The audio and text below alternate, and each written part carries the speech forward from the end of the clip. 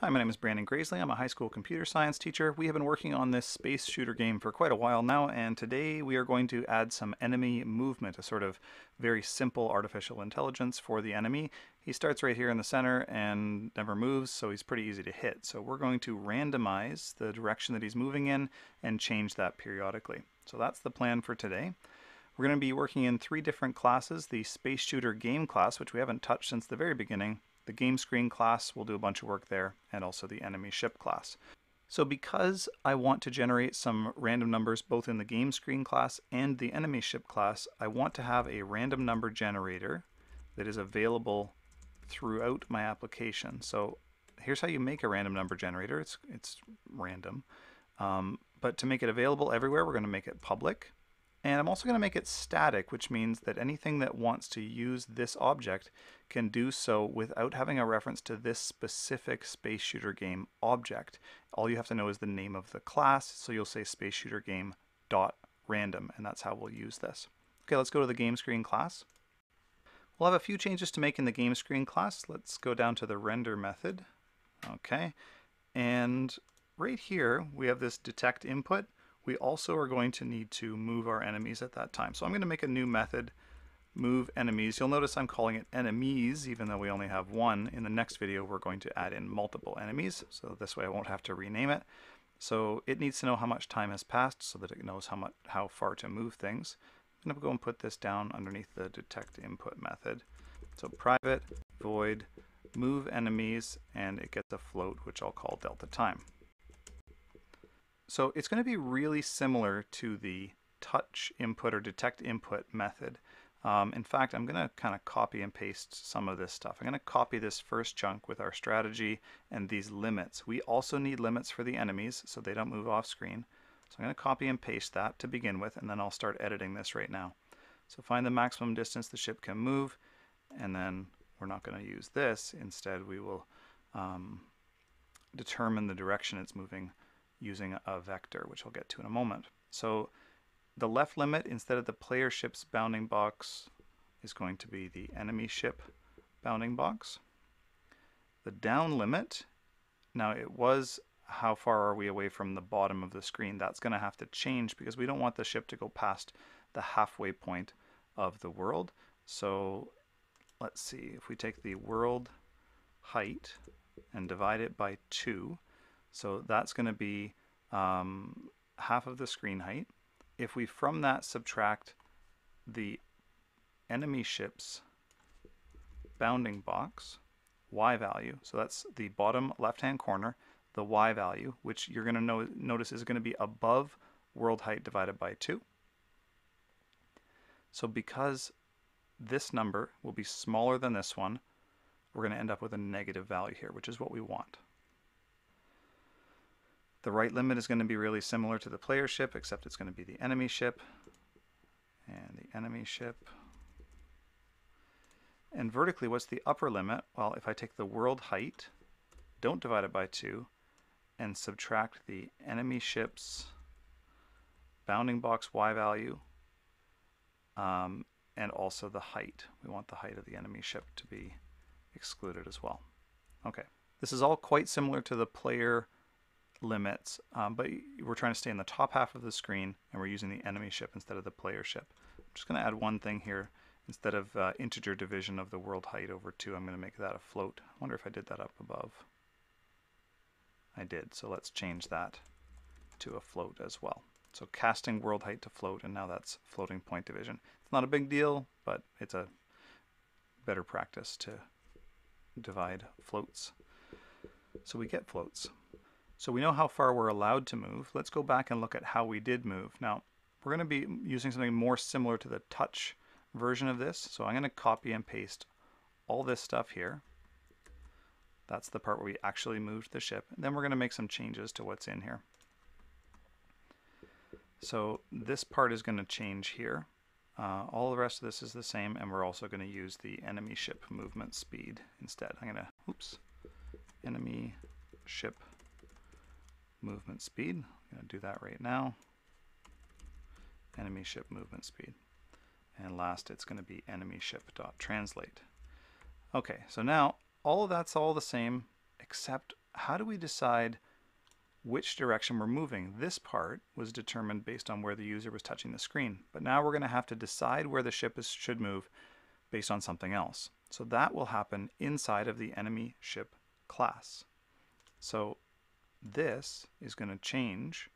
It will refer to something in the enemy ship class. So we're going to go and do some work there and then we'll come back and fix game screen. So the enemy ship will need to keep track of a little bit of information. Um, we're going to need a vector 2, which I think we've dealt with before. We're going to call it the direction vector. Uh, we're going to need, let's see, a float that keeps track of the time since last, I'm going to call it time since last direction change. And I'm going to initialize that right now, start that at zero. And I'm also going to need another float, I'm going to call it direction change frequency, I guess, which is going to be, I'm going to start at 0.75. That needs to be a floating point number. This is every three quarters of a second the ship is going to move, uh, change directions, I'm sorry. So let's go and initialize this direction vector variable down here in the constructor. So right after we call the supers constructor, so in here, this is where we want to uh, initialize the direction vector equals new vector 2. Now, I can, I'm going to give it a direction here. So it's a two-dimensional direct uh, direction vector. So the x direction, I want to not be moving in the x direction, and I want to be moving totally downwards in the y direction, so directly towards the player. So that's the initial heading for this vector. Uh, then we're going to need some methods to work on. So one of the methods is going to be um, a getter for that. Let me just do it this way. Right click, generate a getter for the direction vector. There we go. Oops, I don't need a setter, so let's get rid of that. So that's a public method, all set and ready to go. We'll be using that in the game screen class. Uh, the other one we're going to need is a another one method to, actually I'm going to make this one private, void randomize direction vector. So the reason it's private is because this is going to be called from within the uh, update method, which we have to override for the enemy ship. So every once in a while, we're going to need to call this method. How often? That's what this variable up here is going to be for. Okay, let's get into it. So a direction vector is just two coordinates and we want those numbers to be between 0 and 1 and in particular we want them to work out so that uh, the vector itself has a length of 1. So we're going to use a little bit of trigonometry, not too, too much. So I'm going to use a double, which I'm going to call a bearing. So straight up would be bearing 0, and as you move around uh, clockwise to the right, that's where the bearing changes. Um, so to calculate a new bearing, I'm going to use that space shooter game random object that we had talked about before and from it I want to get a, a new double. So this was going to give me a number between 0 and 1. Now when we do trig in Java, it works in the radian measurement system, so not degrees. So normally if I was using degrees, I would do something like times 360. This would give me a number between 0 and 360 because the double is between 0 and 1. But I don't really want to go to 360 because that's degrees. Instead, we're using radians, and so I want to do like 2 times pi. Now I could do this, but why make this calculation over and over and over again? That's kind of unnecessary, and I really don't need that kind of accuracy. So I'm just going to type the number in. Uh, 6.283185 is super accurate enough. So this is 0 to 2 times pi. That's what we're going to get for a bearing. Okay, so now we want to adjust the direction vector's x and y values. So the direction vector's x value is going to become equal to, I'm going to turn it into a float, math dot sine of the bearing. So trust me, sine is going to give us the x direction, and then for the y direction, we're going to use cosine. Now, if you've never done anything like this before, maybe just don't worry about it for now. So we now have a new bearing with a uh, length, if you want the vector as a length of 1 or magnitude of 1. Uh, so the other thing we need to do is we need to have this method be called at an appropriate time, so every so often. So to do that, we're going to need to override an existing method. So generate uh, override methods, and the one we want to override is the update method. Currently, nothing really happens in the update method. So I'm going to call the super method, although I don't recall whether anything really important happens. Maybe the I think the laser information updates in there for all kinds of ships. Um, but this is going to be special for the enemy ship because the player ship doesn't need to have its direction vector randomized, right? So instead, we're going to basically check and see has enough time passed that it's an appropriate time to, to uh, change directions. So our variables that we need are these two, time since last direction change and direction change frequency.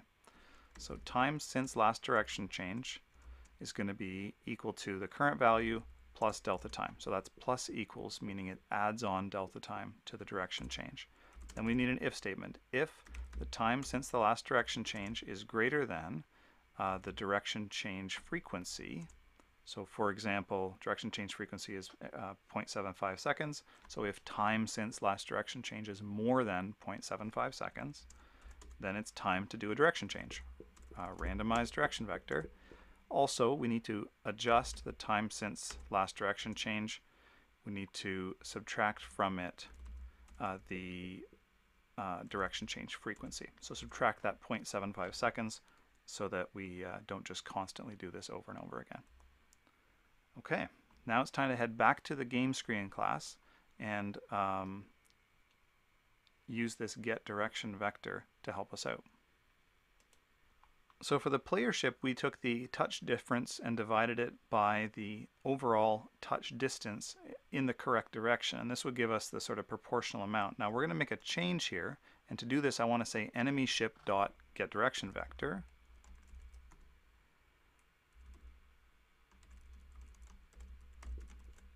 And, oh, it's not coming up. I, I know why. I'm just going to scroll up to the very top of this. Now, the reason is that the enemy ship is not currently the right type. So we're going to go way up here, way up to where we declared it. See there, we just used a generic ship, which was the superclass, but I specifically need that to be an enemy ship. I need to know that it's an enemy ship, and I guess I can call this a player ship right now. That way I can call that method, because that method is unique to the enemy ship type. Uh, let me scroll way back down. There we go. Now that's not an error. So we get the direction vector, different error though, and I want the x part of that. Same thing for the y component, we call it, the y component of the movement multiplied by the movement speed times the delta time. Now you might be wondering, what about that update method? When do we call that? Well, let me go back here. Way up in the render method, we had enemy ship.update. And because I overrode the original update method, now that new part is being called. It's also still calling the old part because of the super call. Let me just load that up for you. In the ship class, uh, it is the time since the last shot that's in there, and it's common to both the enemy ship and the player ship because it's part of the ship class. Okay, time to run this. Okay, well maybe you can tell our ship is moving, not very quickly, so we're going to make a couple more changes in the game screen class to make the game a little bit better.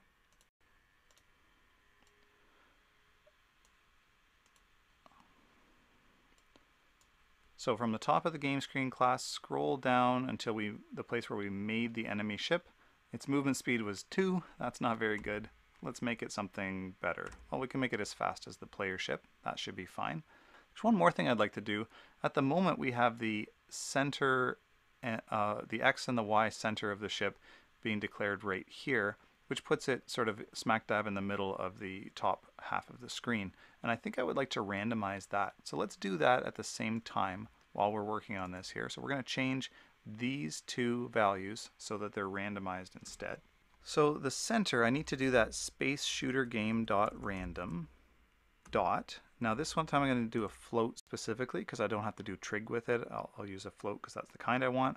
So I'm going to pick a floating point number and we're going to multiply it by um, how wide could this be. So I'm going to do uh, world width.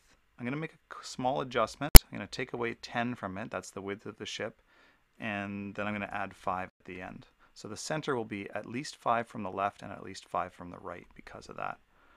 Um, now for the y value, we want to take the world height and we're going to subtract 5, which is the height of the ship. Oops, not semicolon, comma. There we go. That'll be the height of the ship.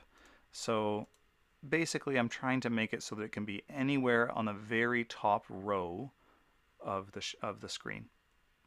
Okay, time to run. Okay, so you weren't able to see the very beginning because of uh, how this loads, but the enemy ship is choosing a random direction vector every three quarters of a second. And I noticed that sometimes it gets kind of stuck on the edges where it maybe sits there for a little while. That's because the random direction vector, when it gets to an edge, it's got a 50-50 chance of pointing in kind of the same direction again. So you could be a little bit smarter about choosing the direction vector. For example, if the ship is way over on the left-hand side, if the x value of its bounding box is zero, then you want to make sure that the um, x direction is positive. And same with the opposite side, you want to choose the, uh, the uh, negative x value. So you could just flip those, for example. So a couple of if statements, and you can make sure that the ship is always moving somewhere good.